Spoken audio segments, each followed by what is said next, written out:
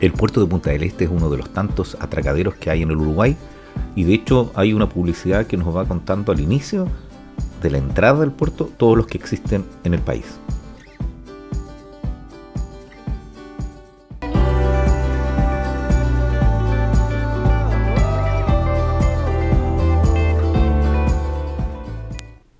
Bueno, la misión del día es conocer el puerto de Punta del Este.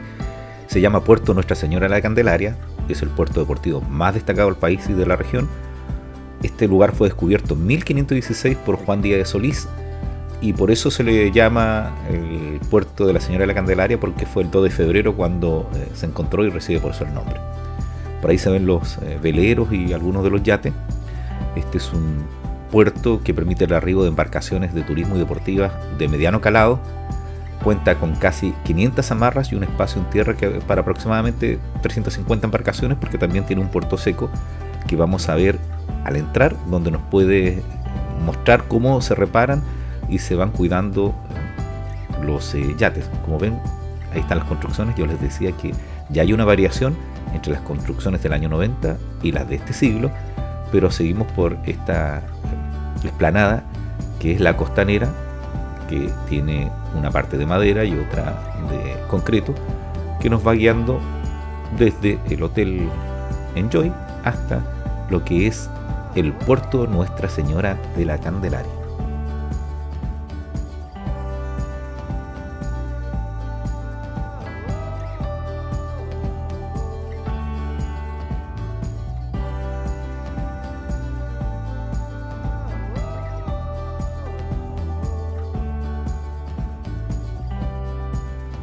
Previo al viaje, un amigo, Jaime Zamorano, nos había enviado algunas fotos de los cruceros que se encontraban en el puerto de Nuestra Señora de la Candelaria, en el puerto de Punta del Este.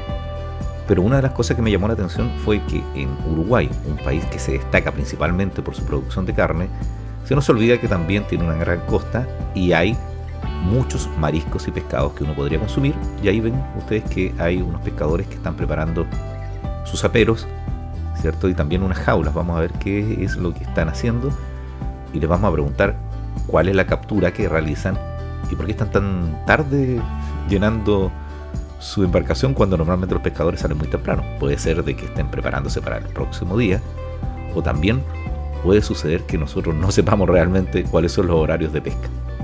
Vamos a ver qué sucede. A la entrada del puerto tienen este local que se llama Calipso, que principalmente apunta a las embarcaciones que hacen recorrido, porque aquí se pueden observar, por ejemplo, pájaros. Y ahí dice, vamos a volver en primavera. Como ven, hay locales comerciales cerca. Se puede llegar en bicicleta y a pie fácilmente. Yo tengo que haber caminado unos 15 minutos y me tengo que haber acercado. A ver, veamos la información que dice. Por paseos, ruta de la ballena franca. Ah, porque también hay avistamiento de ballena en esta zona. Ahí tienen los datos.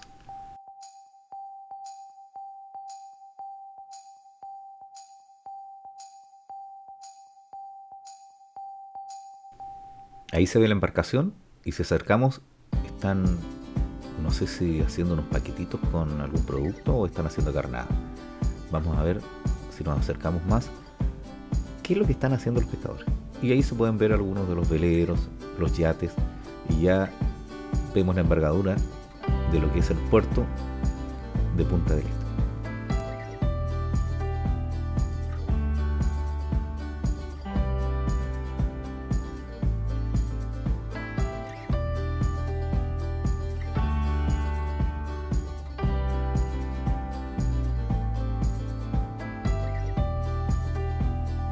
Bueno, y si nos vamos acercando vamos a ver que eran unas jaulas y que en definitiva sí eran carnadas que se ponen en la jaula para que entre algún pescado o algún cangrejo, no recuerdo bien lo que me dijeron, pero estaban trabajando de muy temprano en estas jaulas que no había visto antes, siempre la había visto redonda, me recordaron un poquito las jaulas de las langostas.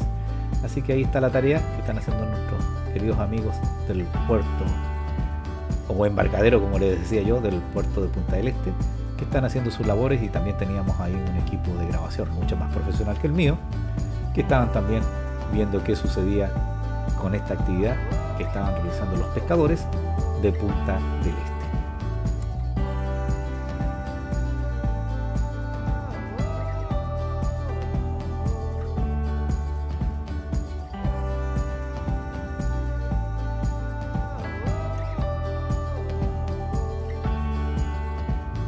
Como les decía, Uruguay es conocido por su carne, pero también hay productos del mar. Y aquí vemos en el mismo muelle como hay unos locales muy parecidos, me recordó a lo que hay en la ciudad de Valdivia, donde vamos a poder ver cuáles son los peces que hay. Lo alcancé a reconocer muy poquitos, habían algunos pejerreyes. Y fíjense que también tenían congrio, así que por ahí me mostraron unos congrios. Ahí lo están limpiando. Y estamos viendo que efectivamente existen también productos del mar en Uruguay y aquí en Punta del Este. Y eso era cilantro, que no puede faltar siempre cuando hay una preparación vinculada a los pescados, los mariscos, porque hay que acompañarlo con algún pedro, alguna ensalada.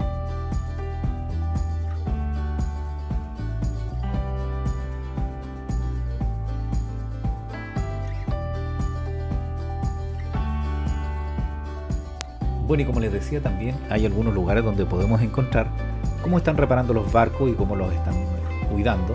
Y en realidad es como muy seco porque allá pueden ver una grúa, esa construcción amarilla con ruedas, donde yo supongo que levantan el barco desde el agua y lo corren hacia los lugares donde van a hacer la reparación. Miren, ahí se ve. Ahí está esa suerte de grúa que se parece a las grúas que usan para los containers, ¿cierto? Pero de menor envergadura para poder reparar efectivamente todos los yates y los botes que están aquí aparcados. Aparcados no se dirá, ¿cierto? Porque no son autos, sino que están aquí eh, recalando en lo que corresponde al puerto de la ciudad de Punta del Este. Vamos a seguir caminando para ver qué otras cosas nos ofrece este que es uno de los atractivos de la ciudad, que es revisar efectivamente qué pasa con los veleros, los pequeños cruceros y las lanchas que están en Punta del Este.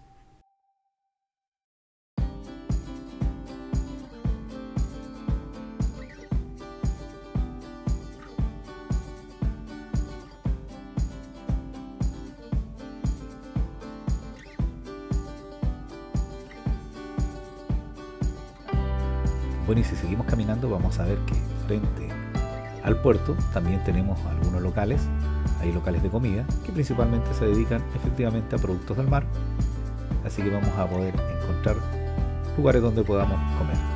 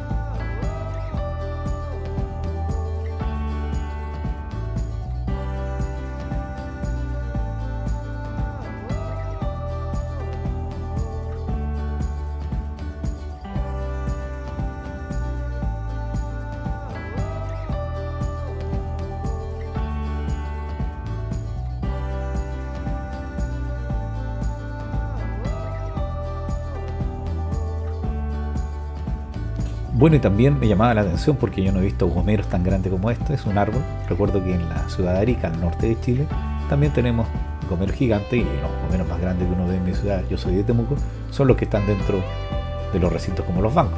Ahí están los gomeros.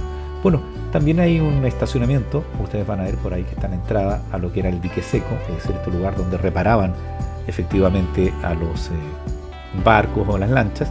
Y vamos a ver que hay ya adentrándonos para poder llegar al lugar donde están los pequeños cruceros y los veleros. Tenemos un estacionamiento de motocicletas y ahí vamos a ver que hay un letrero que nos indica que efectivamente aquí hay un estacionamiento. Dice parking, pague aquí. Ojo, solo se aceptan tarjetas de crédito y débito, así que no traigan efectivo porque si no, no van a poder estacionarse. Vamos a seguir caminando y van a ver que hay unos letreros ahí. Vamos a ver qué dicen, porque parece que es información respecto Claro, ahí está, miren. Ya nos acercamos y la información respecto a todos estos puertos deportivos que existen en el Uruguay, que son atracaderos. Aquí hay un atracadero Carmelo, no es en el que estamos nosotros porque nosotros estamos en Punta del Este y está en información de todos esos lugares donde si ustedes tienen alguna lancha o si efectivamente tienen un pequeño velero pueden llevar a recalar sus embarcaciones y podrían hacer un recorrido turístico por toda la costa del Atlántico vinculado a Uruguay a través de los diferentes puertos. Sigamos viendo.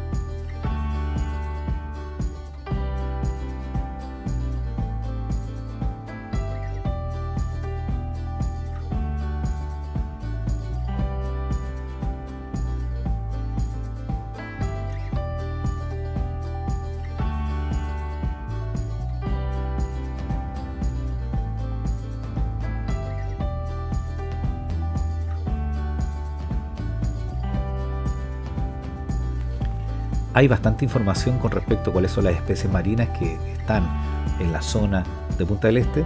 Por ejemplo, tienen lobos marinos, que también hay en la ciudad de Valdivia, que les comentaba que tiene algo muy similar. Pero podemos ya ir viendo los diferentes yates y cruceros que hay. Y en realidad el paseo me tomó más tiempo de lo que yo pensaba porque hay muchas cosas que ver. Así que en un segundo video vamos a mostrarles la otra mitad de lo que corresponde al puerto de Punta del Este. Así que muchas gracias y esperemos el próximo video. No olviden apretar la campanilla y darle a un me gusta y dejen su comentario.